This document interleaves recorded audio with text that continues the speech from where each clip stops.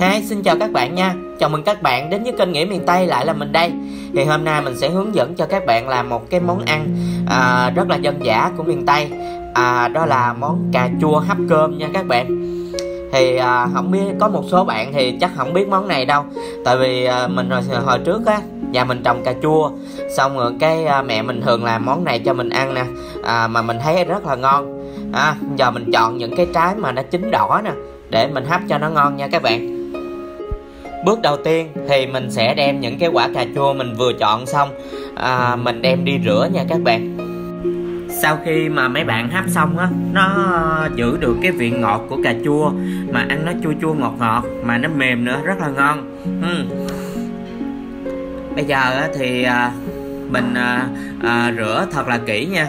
Tại vì cà chua nó à, à, người ta phun hút rồi mấy bạn hơi lại là nó nằm ở dưới đất á. Nên là mình cái bước rửa rất là quan trọng nha. Còn à, mấy bạn nào mà có à, máy à, ozone mà để à, sụt ra quả thì mấy bạn cho vào để mình sụt nha. Còn nhà mình thì không có nên mình rửa bình thường hoặc là rửa với nước muối. Ừ. cái món này à, à, ăn nó không có ngán mà nó rất là đưa cơm nha các bạn quả cà chua nó có rất là nhiều chất dinh dưỡng vitamin và khoáng chất ha.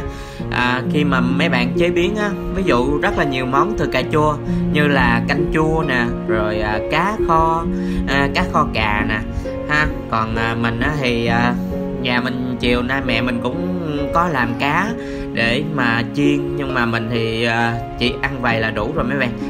Mình hấp xong rồi cái mình chan nước mắm mình ăn nè đây là cái nồi cơm mà mẹ mình đang nấu ở trên bếp nè ha. Bây giờ nó sôi rồi bây giờ ờ, mình không có bỏ qua mình không có cho cà chua vào cái bước này nha. Mình phải chắc nước chắc nước uh, cơm đi á rồi mình mới cho vào nha các bạn. Ừ. bây giờ nó đang sôi đợi gạo nở mẹ mình sẽ chắc.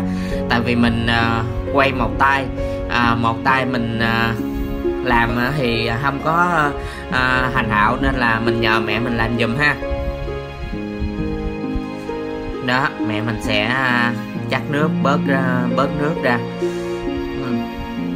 Ừ. bạn nào mà nấu cơm củi thì sẽ biết cái bước này ha. Tại vì nấu cơm điện thì mình à, không có ờ, cần chắc nước mấy bạn. Còn à, nấu cơm củi á, bạn nào mà nhà còn nấu cơm củi thì sẽ biết cái bước này. Nhưng mà mình ờ, thích ăn cơm củi hơn cơm điện mấy bạn. Ăn nó có cái mùi thơm nó ngon hơn, ha đó sau khi chắc nước nồi cơm xong bây giờ mình mới cho cái phần cà chua mà mình, mình rửa lúc nãy á lên cái mặt của uh, lớp gạo nha. Ha mình uh, cho trực tiếp vô vậy nè. Hmm. rồi sau đó thì mình sẽ đậy nắp lại để uh, chờ trong vòng 15 phút nha các bạn. Chờ uh, cơm chín luôn ha. Đây cái nồi cơm của mình đã được 15 phút rồi. À, bây giờ nó chín rồi bây giờ mình sẽ nhắc xuống và mình sẽ vớt cà ra nha các bạn. Cà thì bây giờ nó cũng đã chín rồi ha. Mình sẽ dở ra cho mấy bạn coi. À. những cái trái cà nó đã rụt luôn rồi mấy bạn. Chứ do là nó có cái lớp vỏ ngoài á nên là nó giữ lại chứ không là nó chảy ra nồi cơm luôn rồi ừ. đây mình lấy cái muỗng mình sẽ à, lần lượt mình vớt ra. Các bạn à, hạn chế à, dính cơm vào cái phần cà ha cho ra một cái dĩa.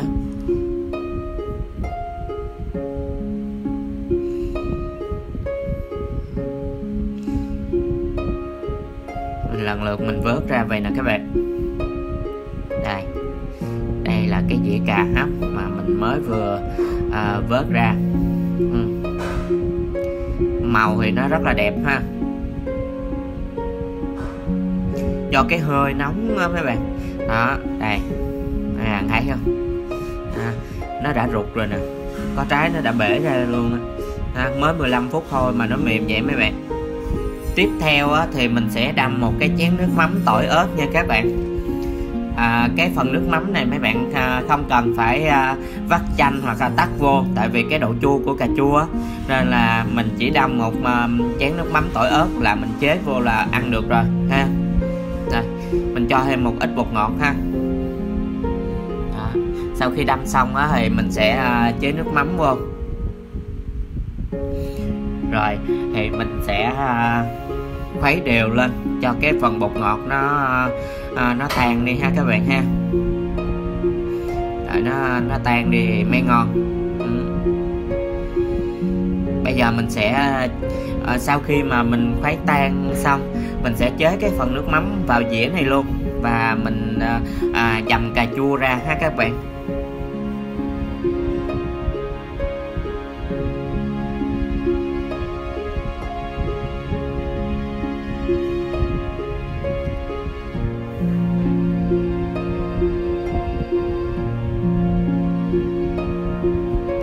Hiện tại thì có, chắc có một số bạn coi tới đây thì nói cái món gì lạ quá đúng không? Nhưng mà à, những cái món này đã nuôi mình khôn lớn đó mấy bạn? Ha chứ uh, hồi nhỏ nhà đâu có tiền đâu để uh, mua cá hoặc là mua thịt ăn đâu. Cái uh, có cà chua cái nhà có gì cái ăn đó vậy nè. Mà bây giờ nhớ lại thì nó uh, rất là ngon nha. Đó bây giờ đó mình uh, sẽ dầm ra cho nó nhuyễn nha các bạn.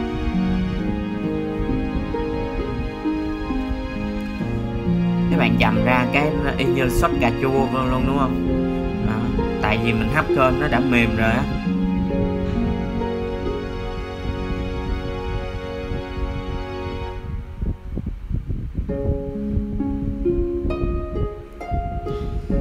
rồi bây giờ thì mình sẽ chế cái phần nước mắm mà mình mới vừa làm vô đây luôn ha ừ.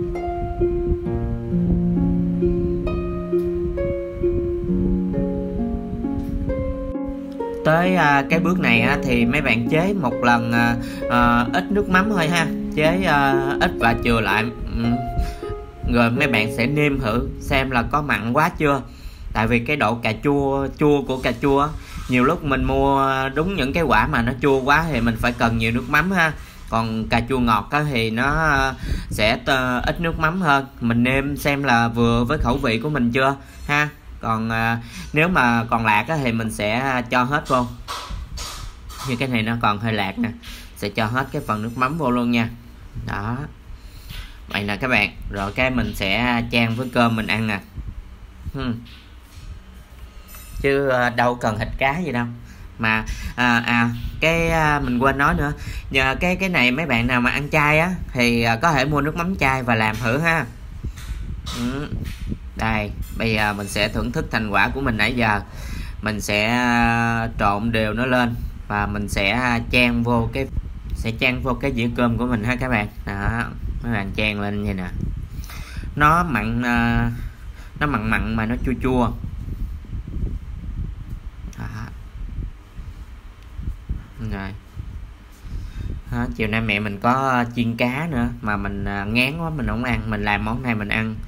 Đó ừ, rất là ngon nha các bạn. Đó à, mặn mặn mà nó chua chua và nó thơm cái mùi đặc trưng của cà chua nữa. Ừ, rất là ngon. Đó mình à, mình bảo đảm mấy bạn là làm món này nó rất là đưa cơm nha. Món này mình ăn hồi còn nhỏ mà ăn hồi nhỏ ăn dữ lắm mấy bạn. Do không có thịt cá như bây giờ đâu. Đó hồi đó toàn là ăn à, như vậy nè mà nó ngon. Ừ. rồi thì à, mình đã vừa hướng dẫn xong các bạn một cái món dân dã của à, miền tây mình ha. Thì các bạn có thể là à, làm thử nha. Thì à, à, rất là cảm ơn các bạn đã theo dõi cái video này của mình đến thời điểm này nha. Và mến chúc các bạn luôn à, vui vẻ hạnh phúc nha. Xin chào và hẹn gặp lại.